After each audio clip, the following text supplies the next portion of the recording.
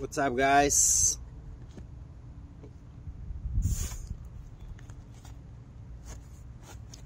What's up, guys? It's my name is Monk, and I want to talk about drug addiction today.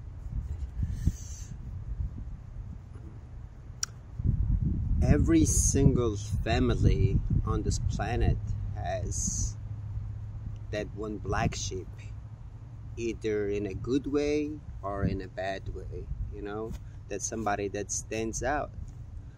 Growing up in mongolia i was that good black sheep of my family because perspective for my life was better. I would really do good in school and i didn't have a lot growing up you know. My grandparents provide with me with everything they could and I was happiest kid as ever. It all changed when I came to America in 2007. I should say it all changed when I got first introduced to opiate opiate substance around 2016 when my mother got sick and I could go on with the stories, how I got hooked up and what happened. But most importantly, I want to talk about what it did to me.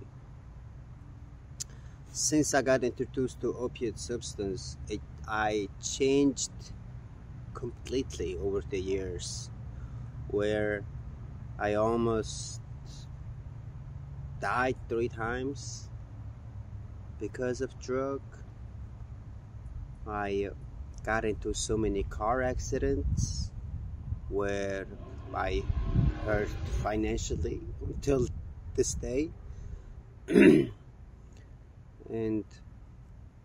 got two DUI. I mean, I can go on and on about what has happened to me ever since I started using drugs. And then scary thing about all three times when I almost died I don't remember none of it. I was on Xanax and I took too much where I don't remember anything at all. And one of the most, I should say, horrific one that came close is this one where I tried to cut my throat slice, which I succeeded I guess first I did it with some not sharp knife so it went couple times and it wouldn't go through. And then I guess I grabbed the kitchen knife went outside and funny thing is I didn't do it inside. I guess I didn't want to make make a mess inside the house.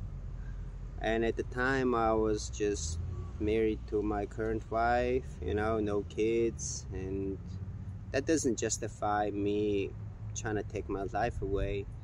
At the fact that I don't really remember anything and then it, it has happened over three times. It's something serious. And then I still couldn't quit doing drugs where I almost ended my life, you know? So the message that I'm trying to send out today is that you don't have to hit the rock bottom you don't have to have somebody to die in your family or you don't have to just it doesn't have to be that huge wake-up call to quit doing drugs and start changing your life how it's supposed to be what it's what you meant to do. Because when you're born you know when you're sober your life perspective about life you look at life in a different way you know different where when you face some struggle or anything you go through it with the support of by either by yourself or support of your family or you learn you ask advice from people. So you find a way to go through that hardship and struggles and trauma and stress.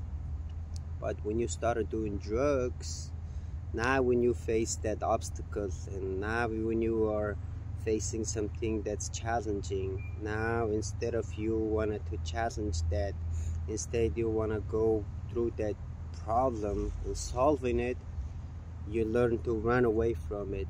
I call it you put the pause on your life or pause on your problem which is you start doing some drugs. So where you could happiness momentarily it will just you know you forget about everything and your past go by but uh, whatever your your journey your life or your process of your life whatever you're trying to do it's staying put because you're not progressing anything. You put a pause on your life by taking some opiate or any kind of substance.